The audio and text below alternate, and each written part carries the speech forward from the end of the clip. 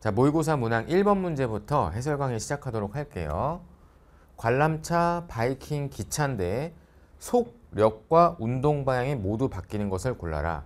속력은 이제 빠르기를 말하는 거고 운동 방향은 방향이 바뀌는지 얘는 운동 방향 바뀌죠. 계속 바뀌는데 빠르기가 일정해요. 그럼 속력이 일정하기 때문에 둘 다 바뀌는 건 아니고 바이킹은 빨라졌다가 느려졌다가 멈추고 방향이 반대로 바뀌어서 빨라졌다가 느려졌다 멈추고 얘는 속력과 운동 방향 모두 바뀌네요. B는 맞고 C 직선 레일에서 빨라지니까 방향이 바뀌지 않습니다. 한 방향으로 쭉 가겠죠?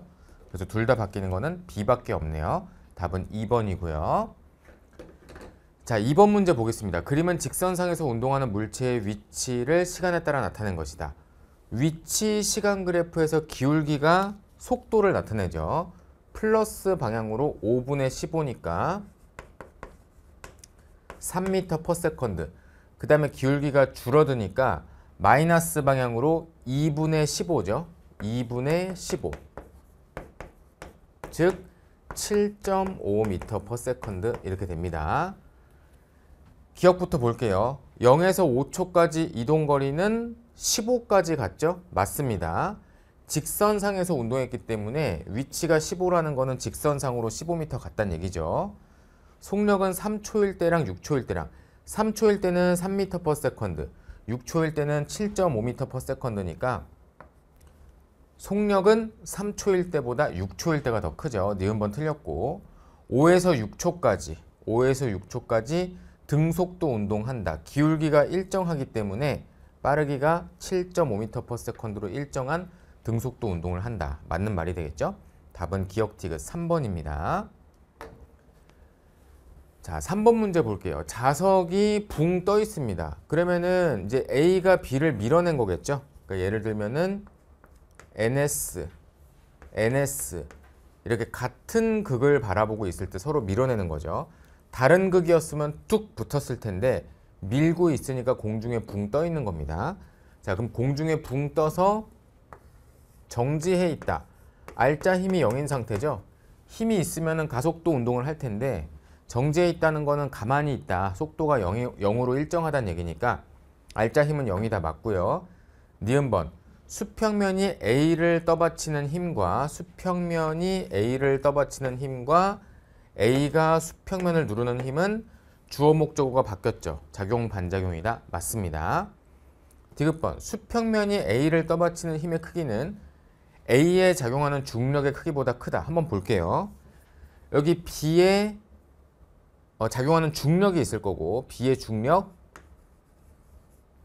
B는 질량을 스몰 m, A는 질량을 라지 m이라고 할게요. 그 다음에 A가 B를 미는 자기력이 있을 거고요. F라고 할게요. 작용 반작용으로 B도 A를 밀어낼 겁니다. 자기력. 그 다음에 A 자신의 중력이 있을 거고 그 다음에 얘네들을 전부 떠받치는 바닥면이 A를 떠받치는 힘의 수직항력, 힘의 크기 N을 물어본 거죠.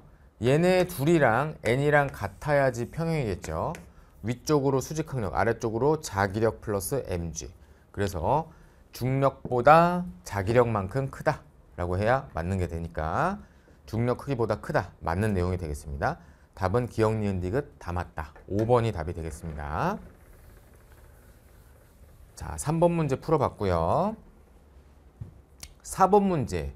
인공위성이 지구 주위를 돌 때 순간적으로 속도가 계속 이렇게 변하고 어떤 순간의 속도는 접선 방향이다 라고 할 수 있죠. 이쪽으로 올 때는 이렇게 이쪽으로 올 때는 이렇게 속도가 계속 변하는 건데 왜 속도가 변하냐면 지구가 인공위성을 잡아당기는 만유 인력이 있죠. 인력이 있습니다. 우리가 중력이라고 부르는 인력이 있기 때문에 90도 방향으로 힘을 받으니까 이렇게 꺾어지는 거죠. 자, 기억번. 인공위성의 속도는 일정하다. 속도는 방향까지 일정해야 되는데 일정한 속력이긴 하지만 방향이 바뀌었기 때문에 방향이 바뀌게 되면 속력, 속력은 일정하다고 하더라도 속도는 바뀌었다라고 해야겠죠. 속도는 방향까지 같아야 돼요. 방향도 같아야 됩니다.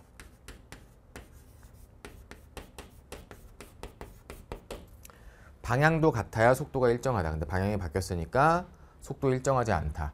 우리 1번 문제에서 본 관람차랑 비슷한 거죠. 빠르기는 일정하다고 하더라도 방향이 바뀌었기 때문에 속도가 일정하지 않습니다.